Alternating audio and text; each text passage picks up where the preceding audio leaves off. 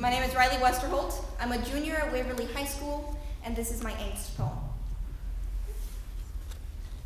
When you first heard the words angst poem, I really hope you did not have great expectations. And if you did, let me crush them now. It's hard thinking of a depressing story to tell about your life when you're a middle class white girl who lives in Nebraska. The most prejudice I've ever had directed at me was the question so, do you like ride your horse to school? Instead, I think I should write a poem about something simultaneously hilarious and horribly depressing, otherwise known as my love life. I like to think I don't get asked out because the people at my school are so intimidated by my massive intellect, my grandiose vocabulary, but then I remember that I'm failing pre-calculus, so I know that's not true. I would like to believe that I've never had a date to a dance because my hips don't lie, but then I remember that they're also bony, angular, and generally look like they could stab you to death. So I dance in dark corners. I need to think that boys don't stop and talk to me in the hallway because they're so enraptured by the way I strut. But then I trip over my feet, again. So I throw that hypothesis away for later.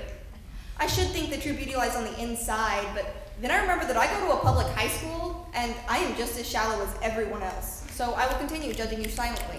I could think that the reason I slouch so much is because I'm trying to inadvertently communicate that I'm a vulnerable and shy girl. But then I remember how heavy my backpack is, so I try to stand a little straighter in public.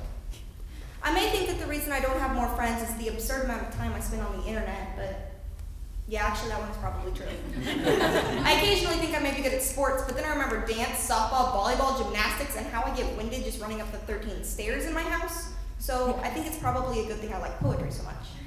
I really don't want to come off as seeming pretentious, but then I remember that my normal facial expression looks something like this. so I'm afraid I've already scared everyone away. I want to believe that all of you poets are secretly yearning for my number, but then I remember that this poem sounds like it's full of self-doubt. And let's be honest, that's no way to make a first impression. Even though I'm failing pre-calculus, I just scored 100 out of 88 points on an English quiz. My massive intellect is intimidating.